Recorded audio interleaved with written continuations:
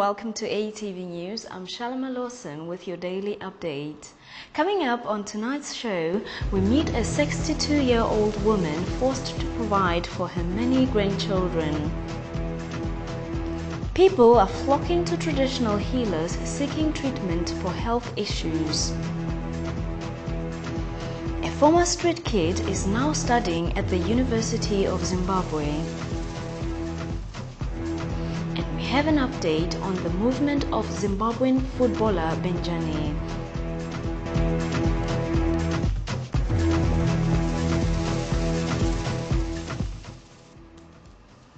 Most people, when retiring, can look forward to resting and relaxing. This is not the case for 62 year old Winnie Chawira, who has to carry the burden of looking after her grandchildren. Our reporter has more. A 62 year old Zengeza woman is struggling to look after six children belonging to a mentally ill daughter who disappears and only appears when she is pregnant. Ampuya Winnie Chawira said her 29 year old daughter Siatu, who had her first child when she was 13, has been falling pregnant almost every two years and dumping the children at her house. The fathers of these children are not known, and it could not be established whether the children were sired out of rape or not. ATV visited Ambuya Chawira at her home. amai vacho murwere. Handitika baba vevana ava handivazivi Eh, saka inini hangu ndii ndiri kurera vana. Vana vese amuri kuona.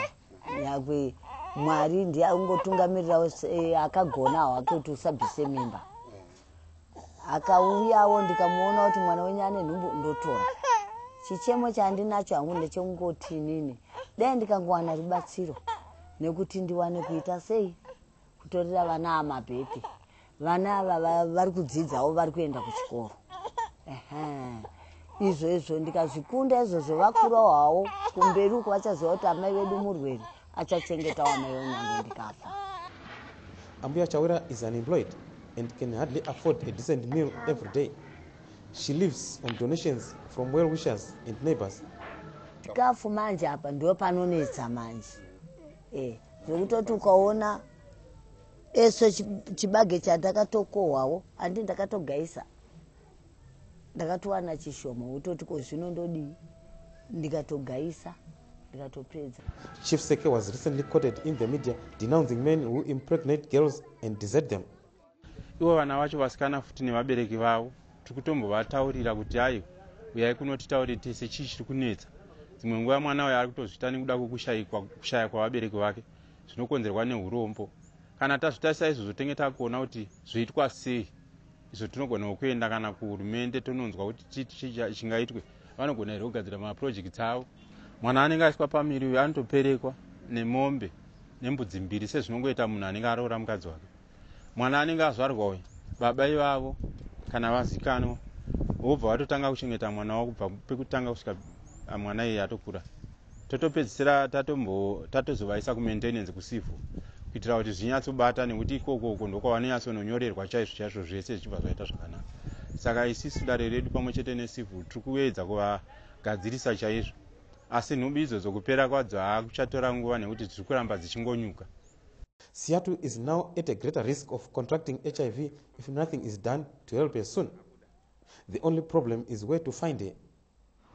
Desperate people are flocking to herbalists and traditional healers in Harare to seek treatment for sexual issues and other problems.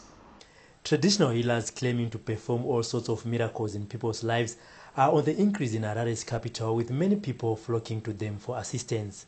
The healers claim to have traditional medicines to enhance male organs, win back lost lovers, get job promotions, pass examination, win court cases, boost one's business, and improve fertility in women, among others.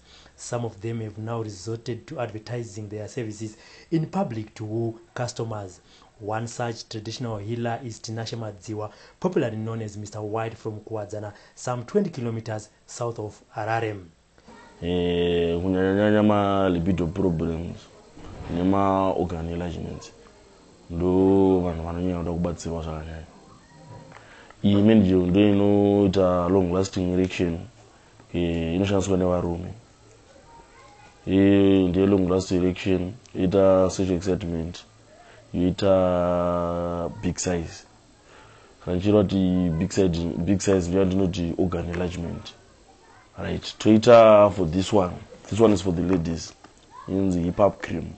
Inoita mahips yoita mabuttocks it's for hips and buttocks uh, you also massage after bath when you're home that's how, that's how it works However, Peter Sivanda, a member of the Zimbabwe National Traditional Healers Association, has dismissed such people as bogus. Harare residents expressed mixed feelings about the new phenomenon. First of all, in the absence of uh, empirical evidence in terms of studies that either support or disprove uh, what they say, I can only say that uh, my opinion is people who use them uh, classify them as people who have a very low self-esteem. They don't think highly of themselves, and therefore they look for alternative methods of enhancing themselves. Um, I don't think it's uh, necessarily right to think that someone who would want to enhance themselves in any way has low self-esteem. Anything that can make you feel better, I think it's brilliant that these alternatives are actually there and people can go out and seek treatment. Whether they work or not is another thing, but just to have the option of bettering yourself in any way. In 2007, a traditional healer in Snake Park, about 25 kilometers from Harare, popularly known as Sekuri Sweet Sugar, made headlines following a sharp demand for his love charms. He became so popular among women that at one point he reportedly attended to an average of 150 clients per day. Some of the women who were coming from as far as South Africa, Malawi, and Zambia. At one point, he ran out of love potions following a sharp rise in demand for his services. With the country still recovering from almost a decade of recession, many desperate people are now turning to traditional and faith healers for a quick fix to their problems. Whether these potions really work or not depends solely on one's belief. A former street kid is now pursuing a degree in political science at the University of Zimbabwe. As our reporter found out, he is staying focused on his education. Former homeless street kid Garikai Msekiwa, L24 is now studying for his political science degree at the University of Zimbabwe.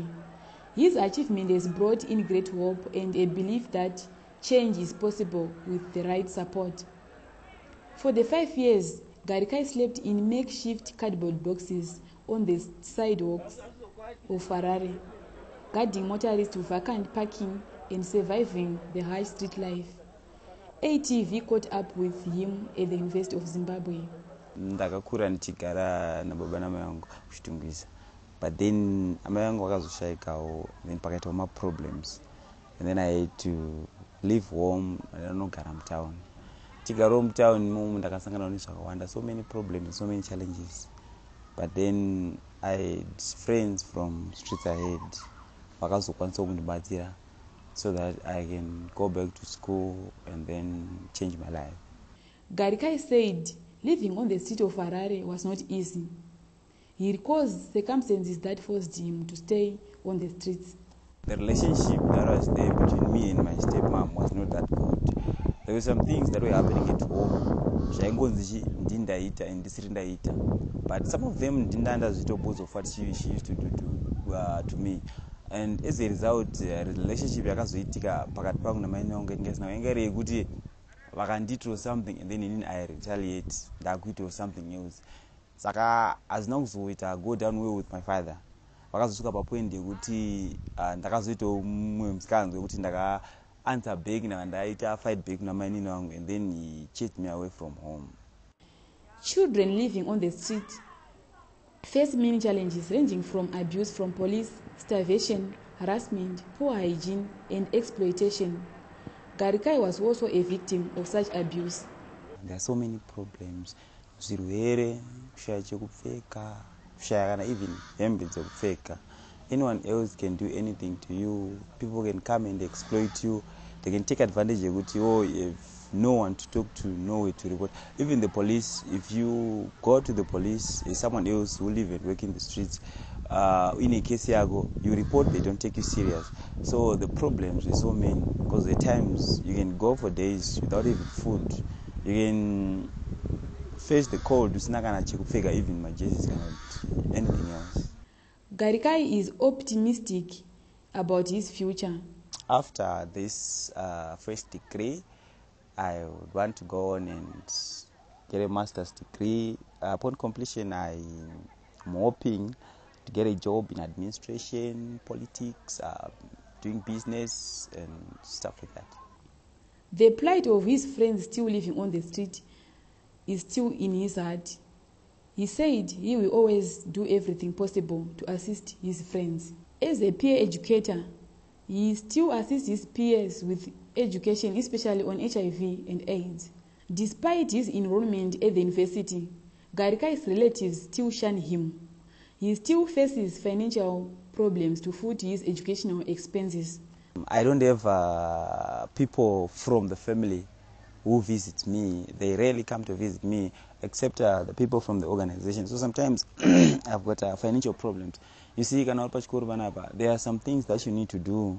And so you'd find kuti unogona kunge usinochi zvinhu zvekuti ukwanise kushandisawo and uh, some uh, during traveling when you're traveling vanhu vanogona kutravela somewhere else uh, might, not be able, might not be able to go because maybe ndinge isina that uh, financial resources dzekuti ndikwanisewo kuenda kunenge uchienda vamwe chitiga mbanje a health worker with street ahead said his organization is assisting 56 children with educational support and they have been enrolled in various institutions across the country.